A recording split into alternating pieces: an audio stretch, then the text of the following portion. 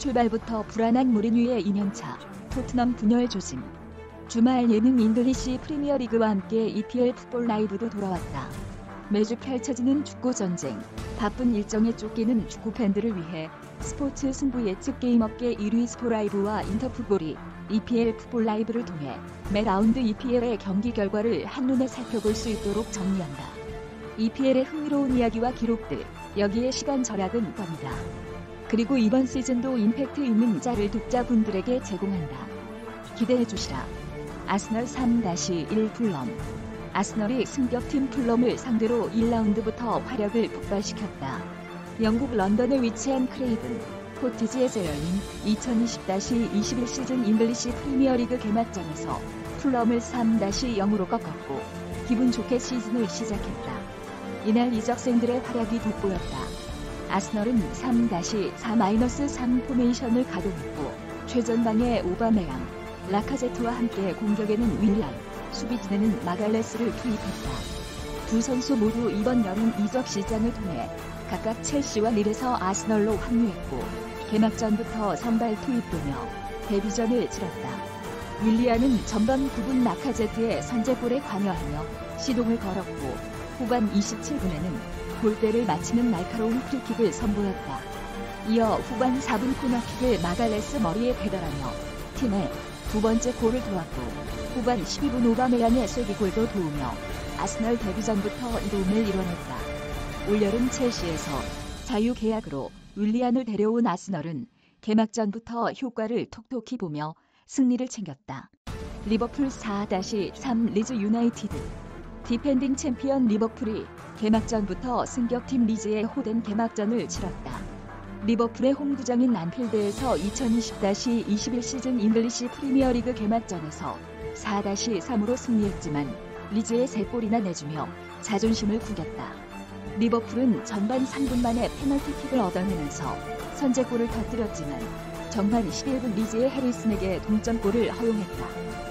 이어 전반 20분 반 다이크가 다시 앞서가는 골을 터뜨렸지만 전반 30분에는 반 다이크가 실수를 범하며 또다시 골을 내줬다. 여기서 끝이 아니었다. 리버풀은 전반 막판 살라의 골로 앞서갔지만 후반 21분 또 수비가 무너지며 리드를 유지하지 못했다. 후반 41분에 로드리고 모레노의 반칙으로 페널티킥을 얻어내며 겨우 승리하긴 했지만 리버풀답지 않은 경기력이었다. 리버풀의 막강 공격 트리오 마네 피르미누 살라 모두 선발 출전한 경기였다. 살라가 좋은 활약을 펼쳤지만 피르미누는 이날 크게 눈에 띄지 않는 플레이를 펼치며 도움이 되지 못했다. 토트넘 0-1 에버턴 시작부터 토트넘이 삐걱대고 있다. 14일 토트넘 홋스퍼 스타디움에서 열린 2020-21 시즌 잉글리시 프리미어리그 개막전부터 에버턴에 0-1로 패했다. 결과와 더불어 이날 보여준 경기력이 좋지 못했다.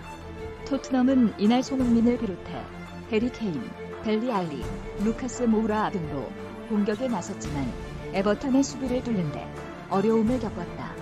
후반 10분 칼버튼 르윈에게 선제 결승골을 내주면서 더욱 힘든 경기를 펼쳤다. 경기 종료까지 이렇다 할 공격 작업도 펼치지 못한 토트넘은 무기력하게 패배했다. 무리뉴 감독은 지난 11월 토트넘에 부임한 뒤 팀을 6위까지 끌어올리며 유로파리그 진출을 이뤄냈다. 2년 차는 우승으로 팀을 이끌어온 무리뉴 감독이지만 이번에는 프리미어리그에서 커리어 처음으로 개막전 패배를 당했다.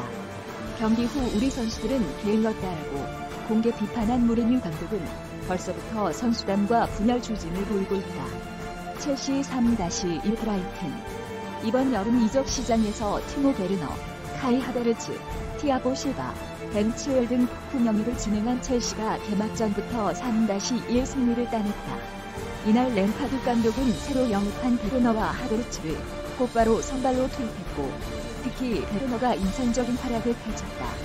득점은 없었지만 빠른 주력을 이용한 line breaking으로 페널티킥을 얻어냈고 선제골로 이어졌다.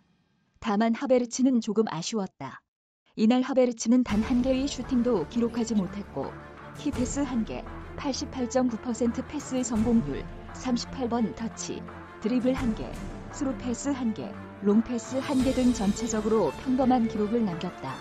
여기에 선발 출전한 로프터스 치크도 최악의 경기력을 보이며 좌우 측면 모두 부족했다. 아쉬운 선수는 또 있었다. 바로 첼시의 수문장 케파.